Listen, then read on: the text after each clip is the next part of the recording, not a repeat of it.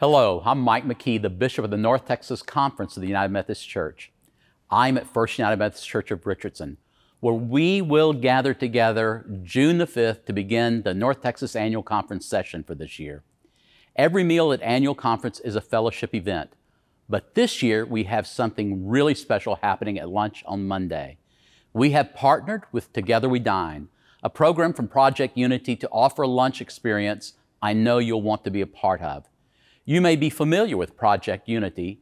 It was started by our own Pastor Richie Butler of St. Luke Community United Methodist Church as a way to unify the community and improve race relations. Today, Project Unity hosts community and educational events throughout the year, including Together We Dine meals across the Metroplex, the state, and even the world.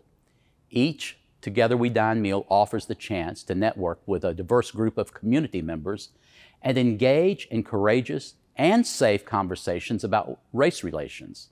Led by a trained facilitator at each table, diners participate in a structured dialogue and listen to the perspectives and experiences of people who look and think differently than they do. Earlier this year, Holy Covenant United Methodist Church gathered with congregants from Hamilton Park United Methodist Church for a combined Together We Dine event. The meal was a powerful way for Holy Covenant to kick off their congregational journey toward racial justice work. And the program is one we want to make available to more of our churches as you engage in these important conversations. Here is what guests at that lunch had to say about this experience.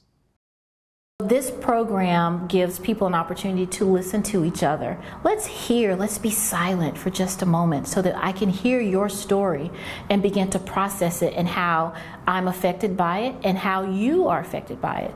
We, we create a mission that you're here to talk and have that conversation. You're here to exchange values, you're here to exchange your thoughts.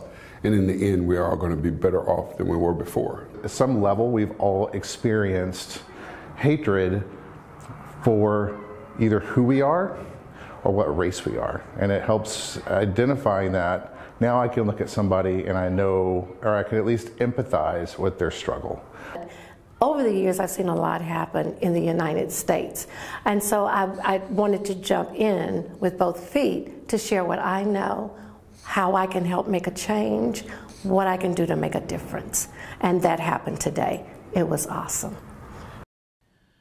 The Together We Dine program at annual conference will be the featured lunch on Monday and a highlight of our time together. Because there is a facilitator at every table, seating is limited. Please reserve your seat by visiting the North Texas Conference website. I look forward to seeing you June 5th through 7th at the North Texas Annual Conference and especially at our Together We Dine experience. God bless you.